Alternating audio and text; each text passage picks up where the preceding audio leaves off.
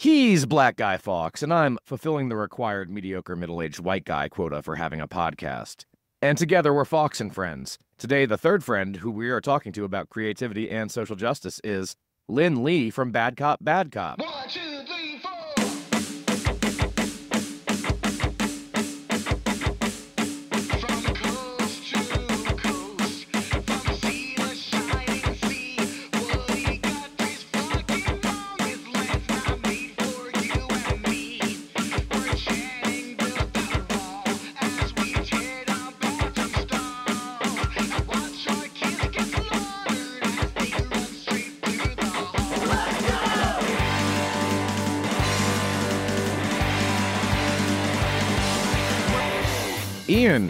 talking to one of your all time favorite human beings this week.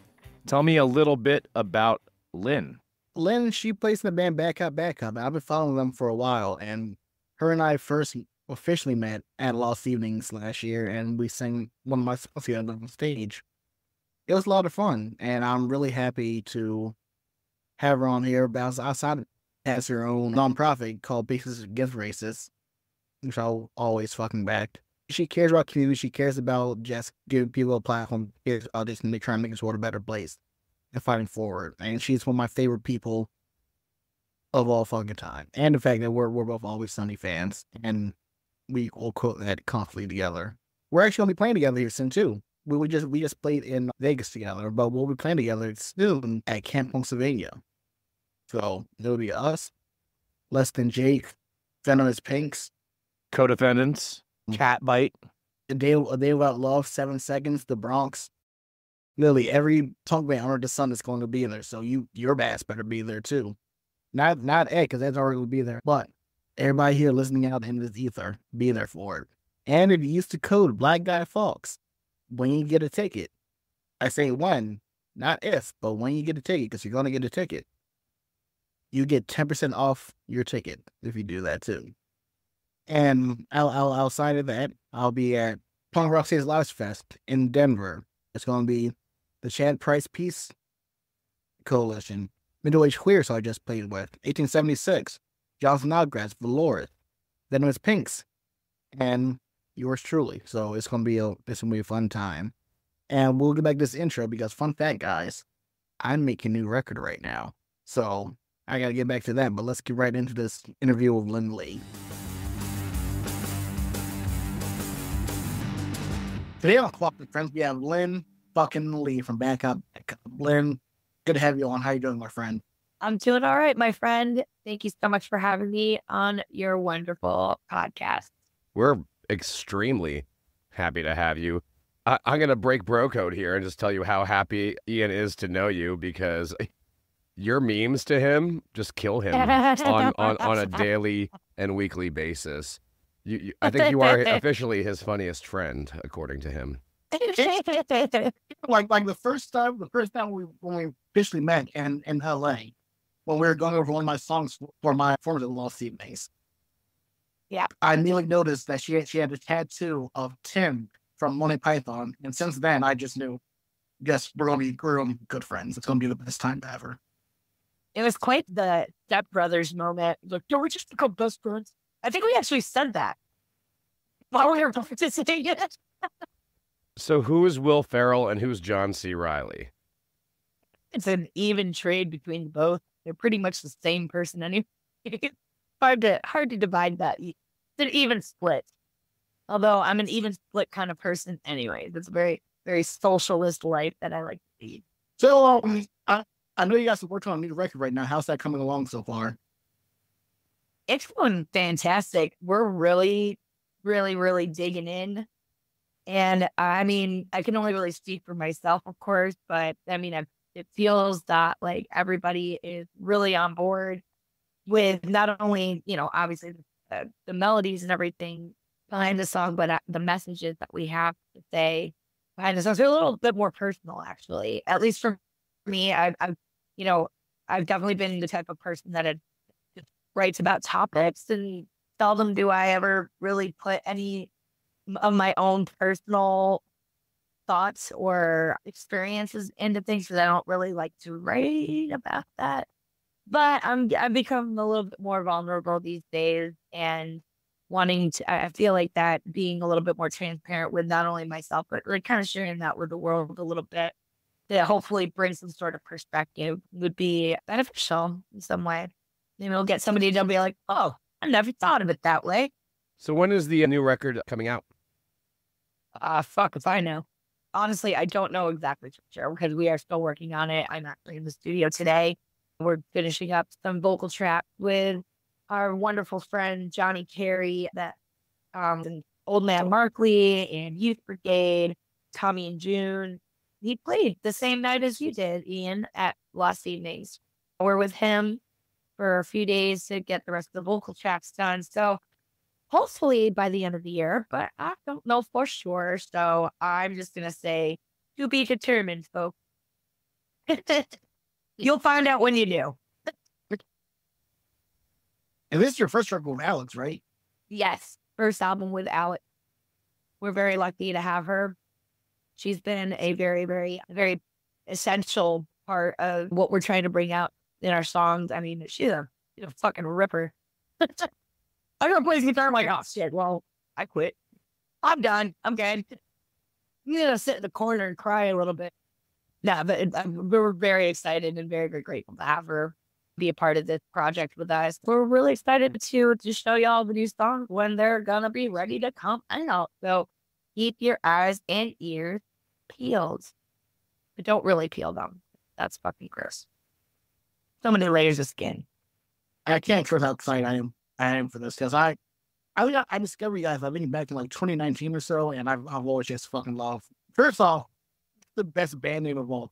If I wasn't Black Eyed I would say Back Out Back because I relate to that statement so much. So yeah. I, I um I'm actually not the original bass player for the band. So I don't know exactly the exact premise behind the birth of that name. Um I do know that it was created when um the original bass player Jen Carlson, another phenomenally uh, phenomenally talented musician, literally plays fucking everything. She came up with the name. I think it was just the fact that it just sounded funny, like the whole concept of good cop, bad cop. Well, the name of bad cop, bad cop? I believe that that's how it was birthed. I just like to tell people, oh yeah, we're called bad cop, bad cop, you know, because it's like Toos Toos. So good, we named it twice. So that's that's my take of it. how, how did you join the band? Out of curiosity, how, how did you become a member? You know what's funny? So I moved to California from Philly in 2010. I was in a band at that time, and we're you know playing pretty sporadically, but like pretty much on the West Coast. So I was like, well, I'm just gonna move out west, buy one way ticket, and see if I follow my dreams. And so I did that, and then the band had you know essentially just stopped, and so I was drunk in Huntington Beach, of all places. But I was I was at a bar uh, on the patio, and I was all like, man, you know, I just want to play with a bunch of women. Like, why can't I find like you know I can't find women to play. Like, I don't know anybody here. Can't find women to fucking jam with. And the toughest thing to find is a female drummer. Here comes little Jen Carlton on the patio. That's like she just kind of like shoots off to like the side. She's like, I play drums.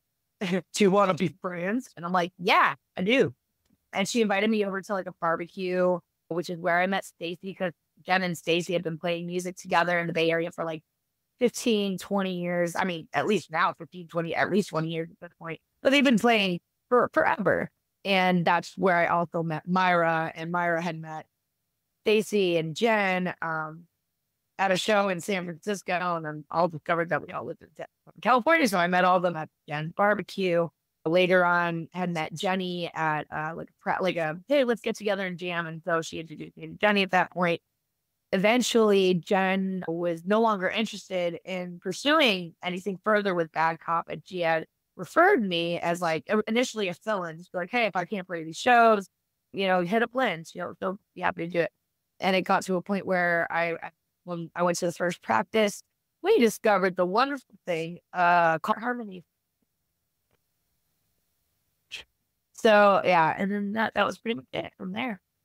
And look where I am now well, I joined in 2012. So 12 years. That's if I'm doing the math right. Almost 12 years. I think it was like June, May or June of 2012 something.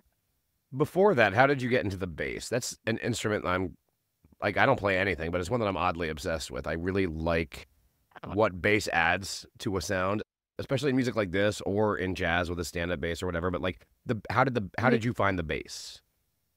Oh, because I'm a shitty guitar player. Weirdly enough, I, I funny because I, I tried my shot at it, like playing guitar and uh realized how horrible I was at it. But the thing is, is like I could hear I could hear bass line pretty easily. And so I was able to pick up playing bass line using the the acoustic guitar. And then eventually I was just like, well, I'm terrible at guitar, so I'll just trade it in for a bass and that's been pretty much it. I learned how to play upright bass through YouTube videos.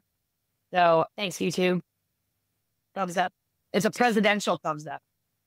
Thank you, YouTube. Even though this is not a video podcast, if you could only see the way that I'm pointing with my thumb, it's very politician like. Yeah, that that was pretty much where it, that's how it all started. So, but it's a fun instrument. Um, and I, I think it's I think also I also don't consider myself a particularly advanced bassist either. Like, I know there are a lot of bass players out there that are like, well, holy shit. There's a whole different thing here that I'm I'm possibly too busy or maybe lazy to discover, but you know, I'm always willing to at least try new ways of playing or discovering different chord progressions that I, you know, that I never thought of before. I'm definitely learning in that sense. I think it's cute that we're the butt of every band joke, though, because we're the foundation and we're the butt. And so we hold the shit down and bring the brown note. But oh, it's full circle. I mean, but it paid off because one, you, you have your own signature bass by Reverend. Yeah, I never thought that that would ever happen. Ever.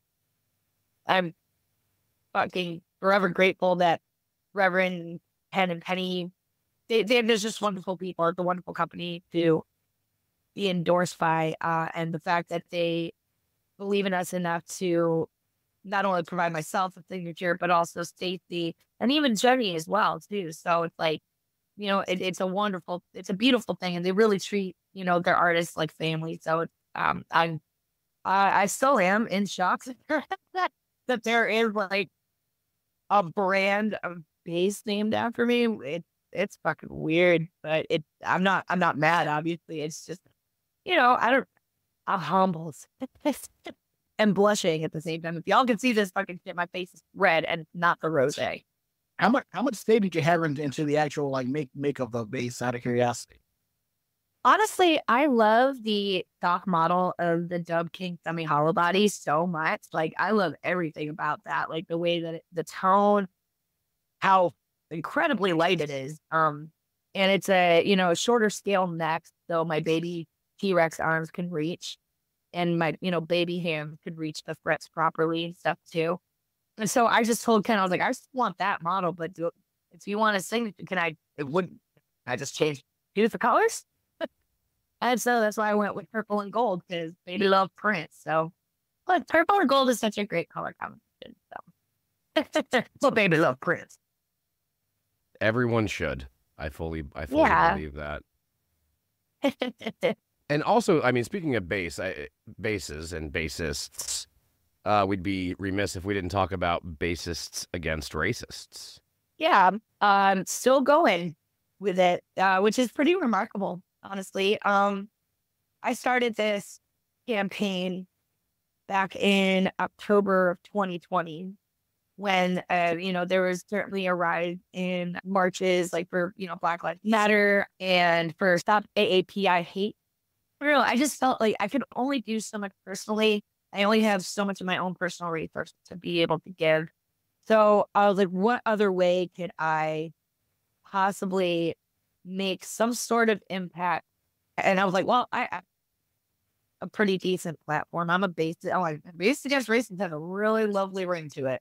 So I think I, I was like, well, I thought of the idea. I was like, well, it'd be really cool to showcase bass players that you know, uh, obviously support anti-racist, pro LGBTQ plus, pro feminist, pro abortion, pro refugee related um both, you know, within the that are involved in the US, but also internationally as well. And so I was like, well, it'd be cool if we could do like pre-orders that are specific to a bass player featured for that month.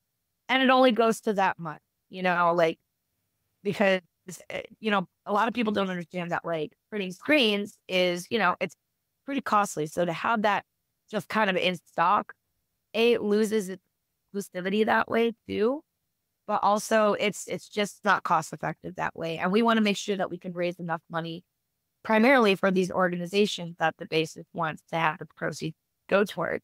So doing pre-orders was was um, you know, is and still currently at this time just the best way to showcase that and being able to provide an opportunity for people to purchase these shirts as like a collectible of, of their favorite bass players or whatever showcase that bass player and giving them a little a little spotlight too supporting two female owned businesses one being chaos merch which is gabby chaos of the venomous pinks another female bass player and she's based out of arizona who uh, handles all the us orders and then, you know, the proceeds for those orders would go towards like an American related organization. And then we have Ines Bartle, who is our merch manager for Bad Cop, but also our tour mom in Europe as well, because I tour manage, but I will not do I will not do international tour managing unless it's in England. But yeah, no. Or or if I get hired to be a tour manager, I'm not gonna like I'll do it for another band, and that's just my only role. I can't I can't do both tour managing and be an artist in multiple countries.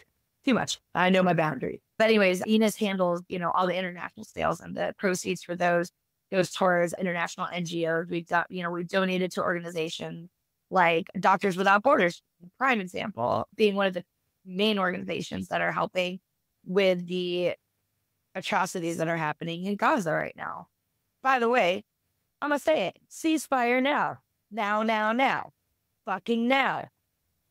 Jesus Christ, I can't break. It's part of this tiredness on my face. Is probably just, unfortunately, doom scrolling on on this topic. We also, you know, donated to pro refugee organizations like Sea Watch Crew, who help migrants crossing the Mediterranean that are, you know, seeking refuge. Also, organizations like the ACLU in the state. We've done, you know, Planned Parenthood. We've done NARAL. We've done the Trevor Project. We've we've done Black Lives Matter. We've done Stop AAPI. We've also done like local organizations. that have been like that. We've done like the National Bailout uh, Project as well. It's really just any of these particular topic of the basis choice to decide on, or if they're just like, you know what, if you could choose for me, that'd be great. And so we kind of talk as a team and be like, how about these two organizations? Then we launch the base dance race campaign till the end of the month. And then Gabby and Enos get the shirts printed. Oh, by the way, the artist that does the artwork on the shirt, his name is Paul Smith, aka Zombie Teeth Designs, who has been so generous to donate his time in drawing up every single one of these graphics. So mad shout out to my entire team for doing this with me for nearly three years. Uh, we're we're we're definitely pushing. I, I haven't done the math in a long time because I've been busy, but we we're really close to hitting like at least seventy thousand dollars in donation since starting this. And I'm just honestly, I'm just gonna keep going until I either don't have the bandwidth for it anymore, which I I don't have the heart to do that, or until I run out of bass players, or until like nobody wants to do this anymore, you know. But at least, even if you know, even if it's not a prolonged campaign, at least it it was something that has been done and it made an impact in some way. It is a contribution, and the effort is there. Um, and I can't stress enough that like campaigns like this programs like you know the the the nonprofit like Stacy and Myra and Silver Snake Oil and a bunch of our friends that are involved in here in LA called the Sidewalk Project that help with harm reduction on Skid Row. This is very time consuming and very stressful work, all in all, at, at different levels, obviously. And it's never, I don't think, ever going to meet up to some people's expectations. And quite honestly, I don't give a shit about that. I'm working really hard to lean towards like at least the effort was there and we're trying our best. And that is the effort. That is the movement that should be the most appreciated. We'll agree on that. Um, I think we talked about it. We talked about it before privately, but I, I, when when it comes to musicians getting, and that's the reason why why I love what what you all do, and why I love what this Race Against Race is because it's so fucking bad at. And what, what, Yeah, what you're, what, you. no, I, you're welcome. And I feel like one thing that we, as musicians, I feel like it's one thing to sing about this stuff, but you also have to walk the walk. Like actually put like like action behind those words that you are singing about. Yeah. I also think that on top of that, it's like making the effort to walk the walk, I think is the most important. And really trying to make that effort. What I don't what I don't try to encourage, or at least I won't I certainly won't tolerate this kind of behavior anymore, are are, are when people feel the need to give their unsolicited opinions about how you should have done more or you're not doing enough to do this, or why didn't you speak about this? It's like, that's we're really trying here. Sorry if I didn't meet up to your expectations, but I'm not here. Like, I'm trying to put, you know, at least this is my prerogative is that I'm trying, you know, and I could, you know, I would hope that this would be kind of across the board with anybody that's in this particular situation. But like, we're just trying our fucking best here and trying to make a positive impact in the best way that we possibly can. We can't meet everybody's needs. You know, we can't meet everybody's expectations. And I'm going to apologize in advance if I don't meet your expectations or if you don't think that I'm doing a good enough job to be the social activist that you thought I was. I'm sorry that that's the way you perceive me, but your opinion does not get to dictate what my actual integrity lies.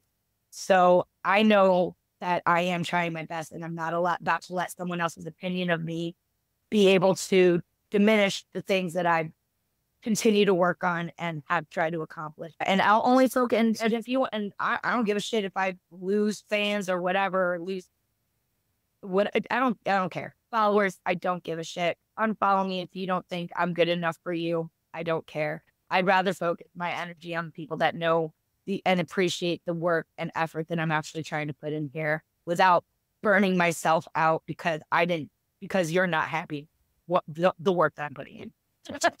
That make sense? Yeah, that makes absolute sense to me. Like the one rule I have for myself in life, call it the airplane rule. Like when you're on the airplane, they're like you have to put your mask on before you can help others with theirs. Like you have to protect your own Yourself. peace Yeah. if you want to be able to continue helping other people. So that makes absolute Right. sense. I, I mean, it's just like that saying. What does RuPaul say? If you can't love yourself, how are you going to love somebody else? Or if you can't, you know, if you can't help yourself first, how do you expect to help anybody else?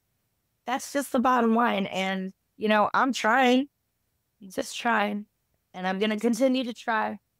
And if you, and if for those out there that focus a lot of their energy on just wanting to slander people because they're not doing enough or that they haven't spoken up enough and all of a sudden are a traitor of some sort because they haven't done enough work or whatever, fucking keep going at it. I really don't care because again, like I'm trying, I'm, I'm actually doing work that's contributing to a positive change in some way.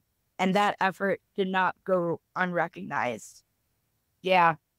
Um, I like shit talk is gonna talk shit no matter where you're at, you know. Hate is gonna hate. That's the other thing too. Like like with both of us being marginalized artists, we're already going through a lot after right now. We're already, we're already seeing a lot of a lot of shit going, going being thrown at us, like on screen or on social media or on TV. So we we can all react Yeah. because we are we are actively hurt. So we can't be speaking Yeah. out all the fucking time about about about these issues because it's we're still processing it and it still gets hard for us. Yeah. And I and I find it like and I'm trying to, you know, uh I've written a song essentially just that kind of about like what is with what is with uh, this obsession or justification with being vengeful? What is that real just like do you like and, and, this kind of pertains to a lot of different topics but i will i'll give you a little example here and this is just my take on it. I hope that like my take and my uh, on this topic will hopefully you know maybe open up some minds on this because it's a it's a topic that's really important to me. It's the it's abolishing the death penalty.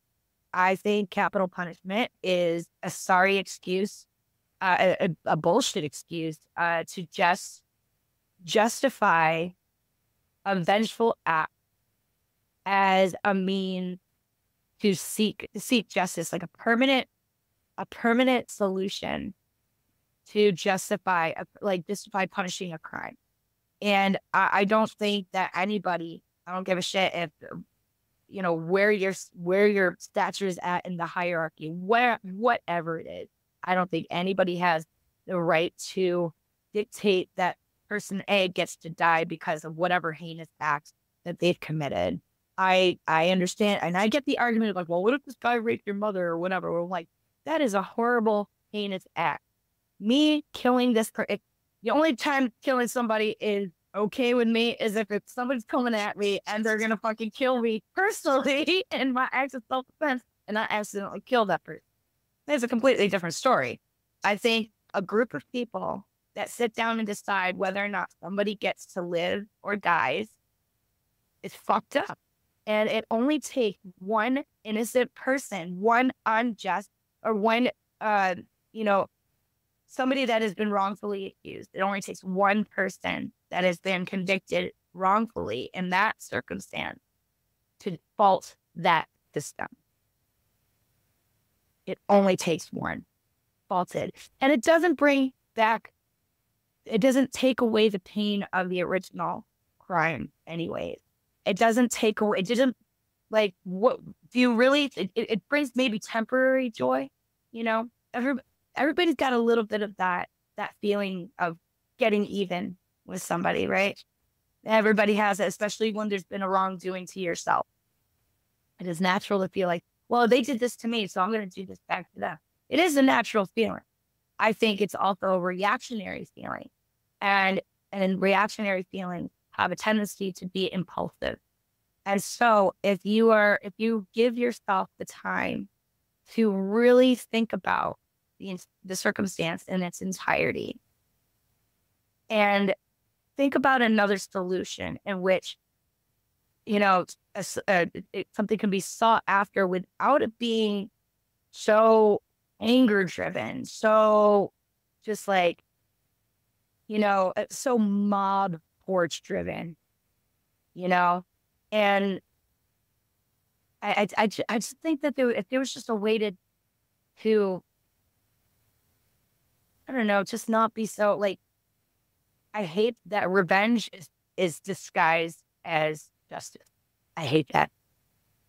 I fucking hate it. I think about that shit when it comes to like, you know, uh, I think about that when I see in movies, like, you know, like I must avenge my mother by killing the man that killed her kind of thing, you know, and I'm just like, I can see how there, there there is a um an appeal to that.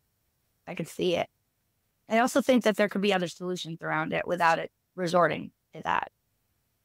I could be wrong though. You know, maybe I'm this is where I could be wrong about it, but my where I'm standing at now, you know, I, I think that no matter how much someone's hurt me, and I've, I've had my share of people really hurting me before. But for me to wish and in no matter how much I hate that person or people or whatever. And even like, you know, like fuck Nazis, you know, I don't wish death upon them. I don't, I don't, I don't wish death upon anybody. I just don't. I don't, I don't think that is a viable solution. I don't.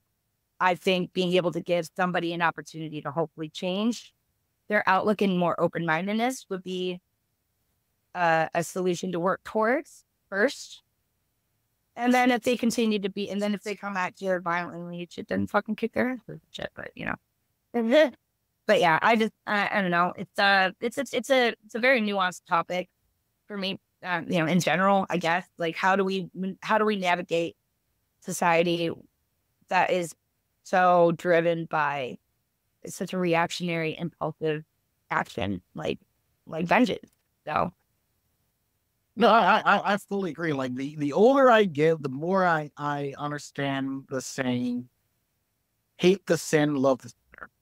Because for for Mhm. me, it's it's the thing of we can condemn somebody's actions, but we have to give them give them if we can get, we can hold them accountable for whatever whatever action they've done. yes, But we need to give them that space to rehabilitate and to give them the space to to do better. instead of just kind of pushing pushing them down. Like there there there there there, there are people that that have that have that, that I feel like have wronged me that I also have to share. I also have to share bills. with.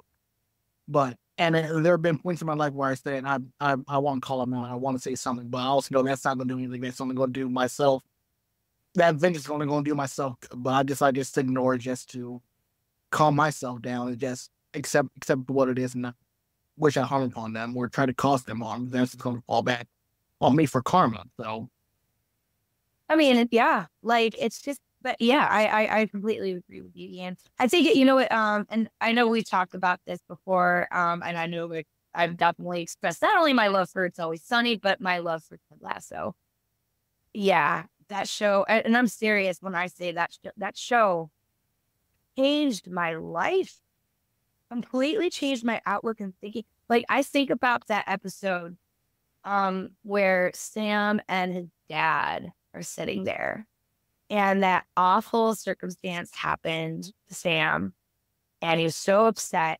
I'm not going to give away exactly what that is in case people have not seen it, which y'all need to get on that fucking. I'm, I'm gonna lasso each and every one of you that are listening to this podcast in the Ted Lasso if you haven't fucking seen it yet.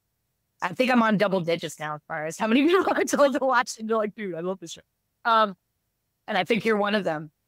yeah, He is. I, I actually have to thank you for getting him into it because then it gave me somebody else to talk to about Ted Lasso. Yeah, and like the, the, quote that that uh Ol- his name is Ola Obisanya, he uses is fight forward, not back. That sticks with me so much. And it's not like the physical act of fighting anybody, but the best way to fight forward is to be able to feed forward in a more productive way, in a more almost not quite a completely forgiving way, but a more open minded way or a more, a, a less reactionary way, a less, you know, impulsive way, I guess you can say. But yeah, I, I, uh, that quote that it just sticks with me every time, just like fight forward, not back. I'm not gonna lie, like I am not the most wholesome person on the planet. Watching Ted Lasso made me at least a little bit more wholesome. Like that show is Yeah. that like good at what it does. It even made me watch a couple football matches. Uh, I still didn't know what was going on during any of them, but I'm like, okay, this is a thing I'm Yeah. now watching. Yeah. I know. I've I've started watching football as well again. Well, I used to watch. I used to watch. I used to follow Arsenal for a little bit, but um, because I I mean I used I played soccer for a long time, but uh, and I just stopped because I was just like "Ah, I don't want to watch sports.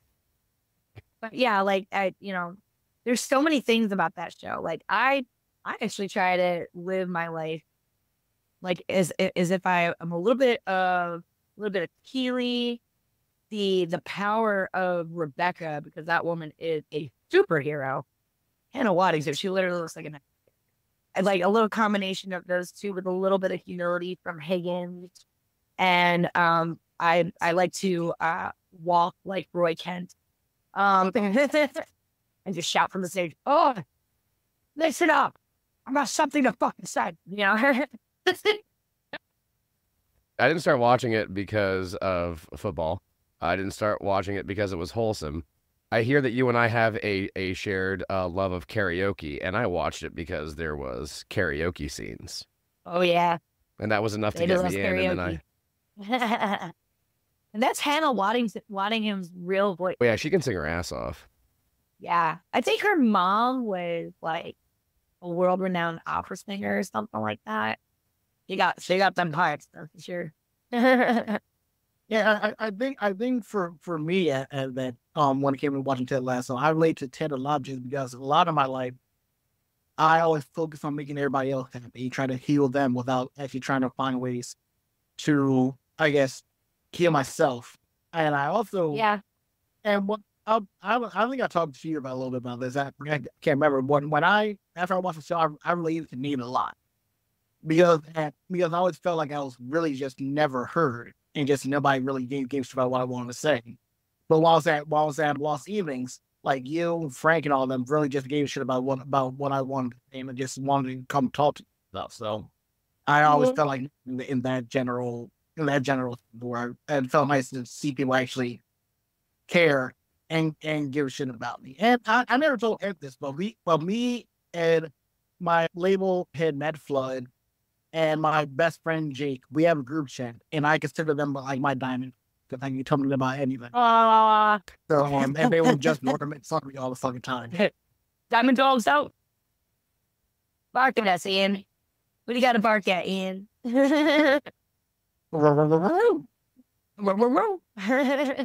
Outside basically the race, I also know you you're producing. How how's that been? Because I know you produced Venomous Pinks, if I'm not mistaken, correct? I co-produced that album, the Vita Moore's album, which again, I I had never ever had experience doing that before. And they're like, "Hey, do you want to produce our album?" I'm like, "You guys know I have a, I have no experience doing that, right?" And they're like, "That's cool. We just like the way you write songs." I'm like, "Oh, "Okay, well, I'm gonna make you bitches sing harmony. Better get ready. I'm gonna make you bitches sing." yeah, that's all. That's honestly been like the only producing thing that I've done. Which, again, like it's not a, a role that I um hold myself high on or anything like that. Uh, I'm just grateful for that opportunity. We'll uh, continue to, uh, you know, if I'm given more opportunities to do that, then yeah, I would love. And if I have the time to, you know, got a lot of shit on my own too. But if I'm able to squeeze it in, and if people want to work with me, that comes from. I'd be happy to do it. I guess this next question: Is there anybody else who approached you about producing them, or Yeah. I'm okay with that. People, you know, I'm not. I'm not going to expect this. You know, it's another thing. I'm not. Uh, I'm trying to live by to not live by expectations so much, but with more appreciation.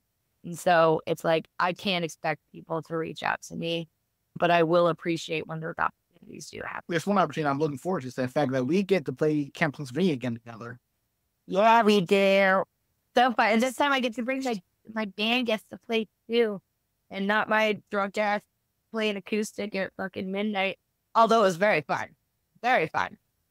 And Ian, I know you've seen how far away that that acoustic stage is from the main here. I know it's different. It's gonna be different this coming year, but last year I was like, oh, that's like a good half mile up. A lot of mud. The Venomous Pinks. Brilliant.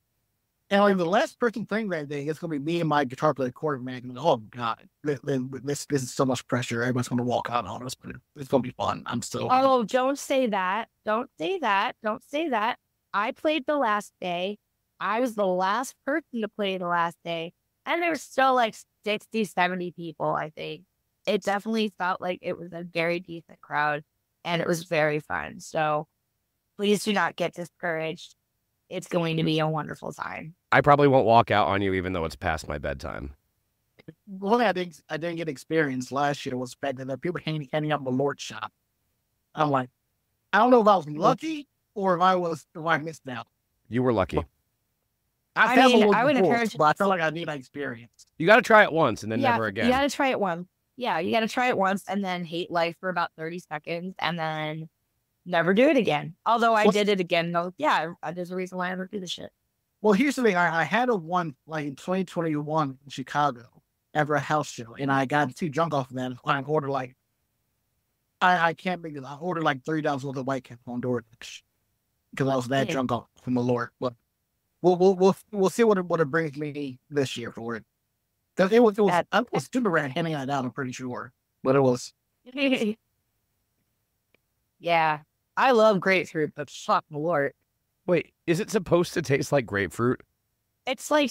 Yeah, I guess. Oh I don't my know. God. People are like, it's I- grapefruit. I'm like, it tastes like fucking arse. It tastes like fucking gasoline. Somebody once asked me what I thought Malort tasted like, and it's like, okay, so somebody reanimated a corpse and then they brushed their teeth and then they um, spit it out uh, when they were rinsing, and that's that's what you get the backwash of a corpse that has brushed its teeth. I mean, I've never had a personal experience with that, so I can't imagine what that would taste like. But I have accidentally tasted gasoline. Accidentally. I don't remember how, but I just, it's embedded in my brain that taste. And I'm like, oh, that tastes like Malort.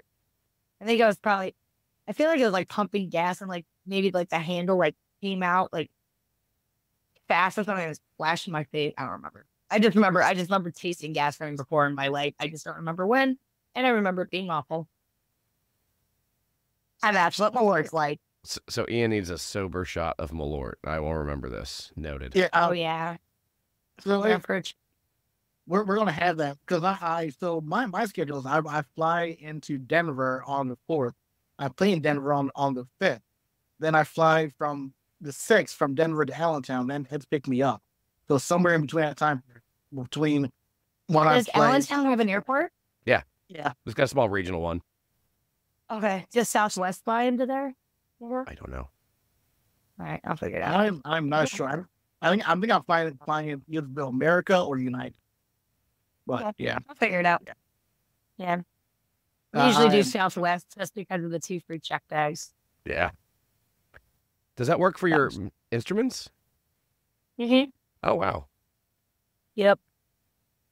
You're so what what is next on for for Bad Cop besides the next record? What what else? What We're playing shows on the way out to Forest Fest in North and then on the way back. And then we have, let me see. Oh, and we're playing Hawaii. Yeah, we're going to be in Hawaii. Uh, and yeah, we got a few different runs coming up. But yeah, just going to be a nice packed summer. And now I think it is time for our favorite game of all of Fawkes Friends with some rapid fire questions. Oh, shit. Okay. One, two, three, four. Motherfucker. I have that video clip saved on my phone because it makes me laugh every time. Hard eyes, motherfucker. Big fries, motherfucker. Apple pumps, Ah, motherfucker. Six eyes save lives, motherfucker. So we got some rapid fire questions for you. My first one is it says here from Philly. That's Philly cheesesteak. Where do you go? oh, Tony Luke's. Tony Luke's. South Phillies. Don't go to fucking Pat's or Geno's like a fucking breed. By the way, those places are racist as fuck anyways. Motherfuckers have like Greek Greek English wearing America signs on them. Fuck you. Go fuck yourselves. Your cheesesteaks sucked anyways. Whiz with? Who the fuck puts whiz cheese on fucking cheese cheesesteaks? You get fucking provolone like a goddamn civilized human, okay? So and plus you order it dyslexic and shit. Whiz whiz, Whiz whiz. Are you kidding me? No, I'm kidding. Uh, no, but not really. I, I I fucking hated that shit. Anytime my friends were like, "Let's go to Pat's and Geno's," I'm like, "How about we go to Tony Luke's where you can get a really good cheesesteak?" But that's just me. Fir- First one, I love you so fucking much. Se- Second off, my my favorite, my favorite I like Angelo's one. I, I went to that one too. I I love their cheesesteak. Wait, who? who? Angelo's. I haven't been to Angelo's. Like when I find a place that I like, I just kind of stick with it. So I didn't really venture either. I mean, I did try Jim on Cal Street, and the smell that you get from outside is exactly what you taste on it. That that explains a lot of that. I'm not a fan. Uh, so yeah, I just stuck with Tony Luke's my entire the entire time I lived in Philly. So Yeah, uh, uh, other one is what is your Mount Rushmore of always sunny characters? Side and main. side and oh, ooh, that's tough. Okay, well, obviously Danny DeVito. I'd have to say Uncle Jack needs to be in there. And let's see, I think Cricket, definitely Cricket. Um, and oh, um, Artemis. I love Martin.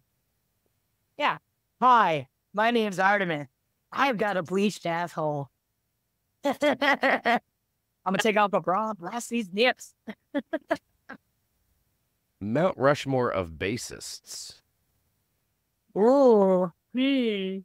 Uh, I'd have to say Matt Freeman.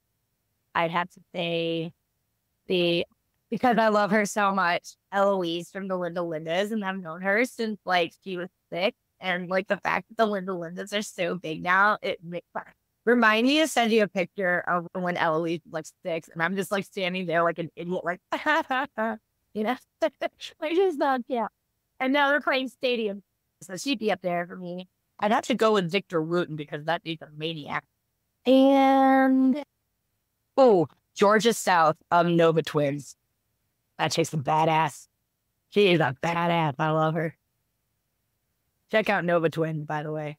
They're fantastic. What are your recent gold guilty pleasures, if you have any? Oh, I love I have a playlist of all RuPaul songs. Like, come girl, put your face in your wall, head to toe. That's your whole body. Yeah, I love that shit. I go dance walking on a daily basis. And I'm just like, yeah, girl, I'm gonna fast down the alley. Like the not really I don't. Would they be considered guilty pleasures if they're good? Um, yeah, I really can't think of guilty pleasure level songs other than just like RuPaul and like fun dance music like that. Okay.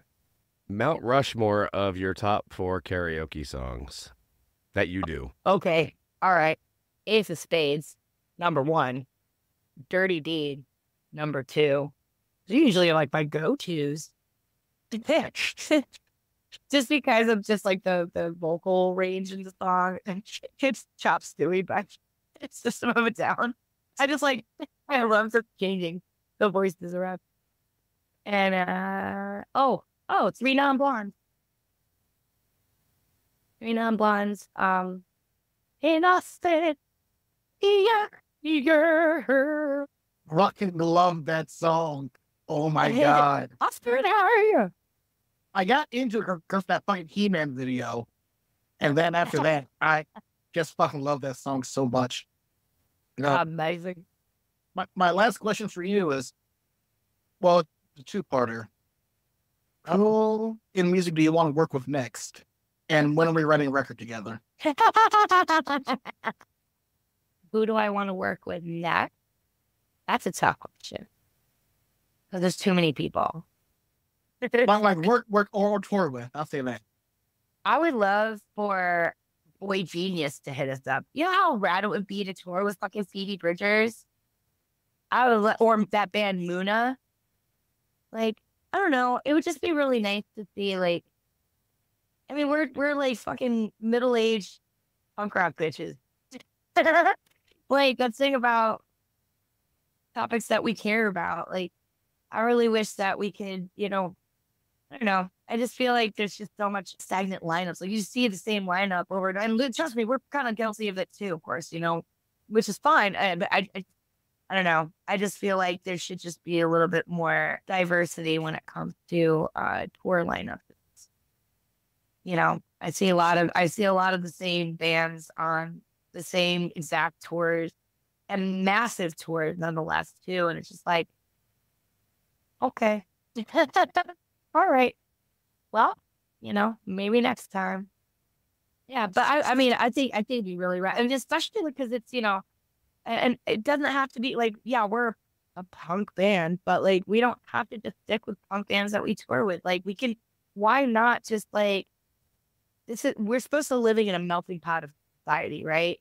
As people, like the more, the more diverse we are, the better, the more open minded we end up being, and the better opportunity, the best opportunities will come for everybody at that point, right? Because it just opens up all those doors. And it's still not there yet. Getting there, I do see it's getting there with some bands, which is great. But yeah, it would just, you know, I would also like to see those opportunities be given to, you know, older people. Because I feel like, you know, yeah, we're fucking older and stuff like that, but we're still pretty fucking spry. You, you, do, you do splits every night on stage. I don't know how the fuck you do it, but, but Uh, I do that shit until I can't anymore. And I have, I have sprayed my MCL before doing splits on stage. So it's like, it's not easy, but you know, I, I, I live to perform if anything. So I love doing it. I think we're still like, we still got, you know, we still got the energy. And I think if people would give us a chance, like we could really bring, you know, we could bring what we have already brought into the world to a to a completely, you know, a different demographic. You know, we should the the music's there. You know, the messages are there. We just need, we just, you know, it'd be nice to share the pot with everybody. I fully agree. There, need, there needs to be more representation representation of us on stage. We see Yeah. it just everybody, everybody represented, plus, plus you possibly can. It's so. I think one of the sweetest things to go through is like when you see it, like when you get hit up by like little kids, and especially like for me being, you know, first generation Vietnamese, like last I checked, there weren't many of us out there that played punk rock music. you know, and like I'll go to shows, and there's been a couple occasions where like I'm I've met other, especially females of Asian descent, or like little girls that you know that are Vietnamese or uh, uh, you know Chinese. And they're like, I never thought that watching you, I could do something like this. And it inspired me to want to do something like that. And I remembered that feeling when I saw Cassandra on fucking Wayne's World. you know? And I was like, oh, you're telling me I can do something like that? And I don't have to conform to the, like, to what's expected out of me? Like, wow, that's wonderful. So, so Ian, Oh. Wayne's World's a movie that came out in the early '90s, Uh. before you were born, and uh, Uh huh. Was I? I, was I just keep about to say forgetting how young Dreamweaver. you are. I was about to sing Dreamweaver, but you know what? Fuck you. No. I'm so angry right now. Fuck, man. I, I, that's one of my favorite movies of all time. I love Wayne's World oh yeah, so much. Yeah, like I, I mean, even like, you know, you know, watching uh, Tia Carrere, you know, I was like, holy shit. But also, even like movies like Goonies and Indiana Jones, Temple of Doom, like Ke Huy Quan played a pivotal role in giving me motivation and inspiration. There's Stacy. Shows up next to Danny DeVito. even seeing like actors like Ke Huy Quan and Michelle Yeoh that then inspired me to be able to again like just be able to pursue something that wasn't like expected out of me and something that I really enjoyed doing. Like I one thing, and I'll say this, you know, I love playing music. I love writing music. I think you know everything about it is one of the most beautiful things. But the one thing that I live for is to perform. I will always find a way to perform, whether it be karaoke, whether it's me doing the Carlton in the middle of the club dance floor, it uh, or on stage. Um, you know, because I will never stop doing the Carlton. Stacy and I will will will do dances together. I just love to perform. I, I just I live for it. You know, I did gymnastics for a long time, and the one thing that I loved out of gymnastics was to be able to perform each apparatus in front of people. Like whether I did well or not, whether I did look, whether you know, and, and I mean, when I was younger, obviously, like the the technicalities and the the judging and everything like that was very important to me because you were, you strove to be perfect. But it, it it what really made me happy was to be able to do it in front of people, especially the one thing that was really important to me is to be able to do in front of my family, and I'm very grateful to have my sisters and my mother that have been supportive of my endeavors since the beginning. Even though I, you know, it's not been easy, not been easy. Um, but they continue to support and they, you know, they'll fly, they've flown to like Australia to see us play at a festival.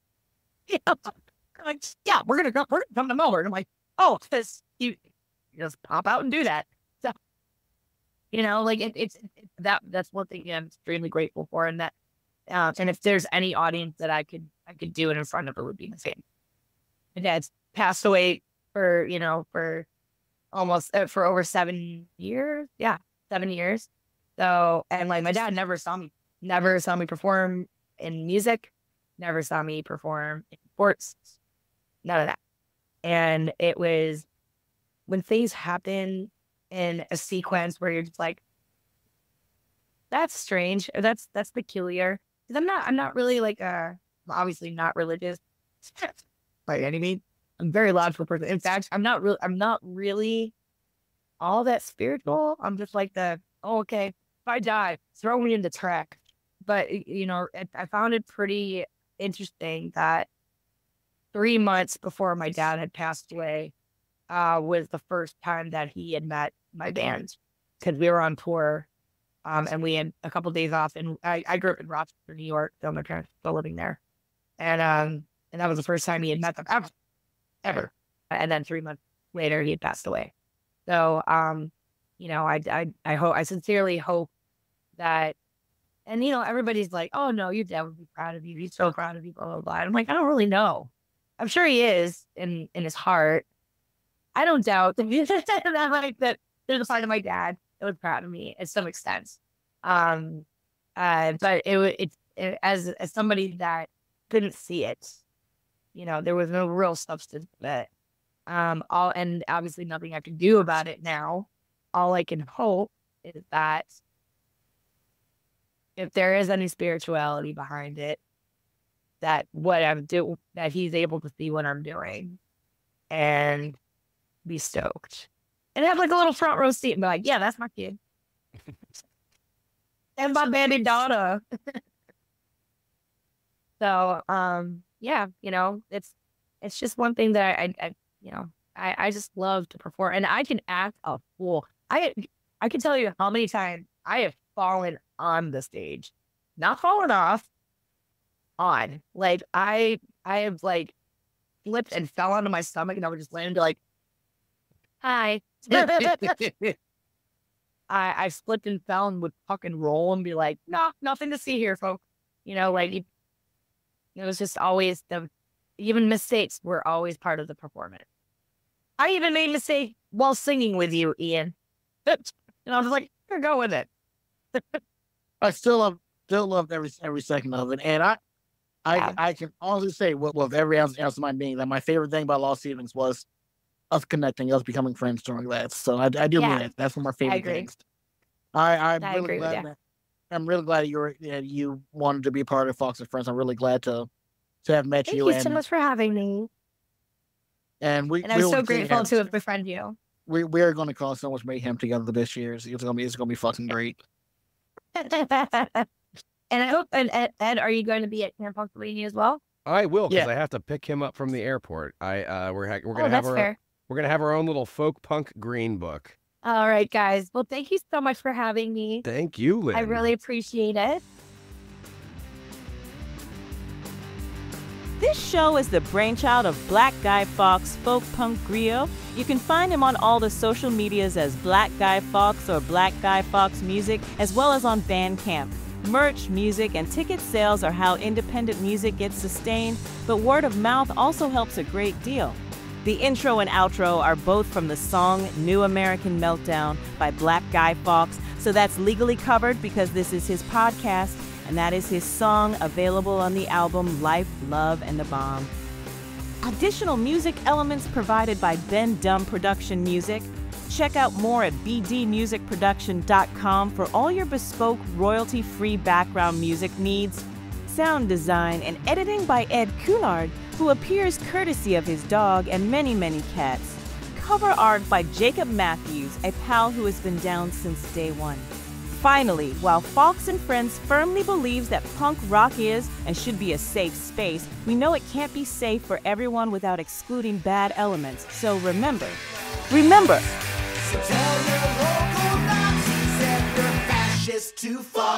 Ian, uh, you want to kick us off and and introduce Linh?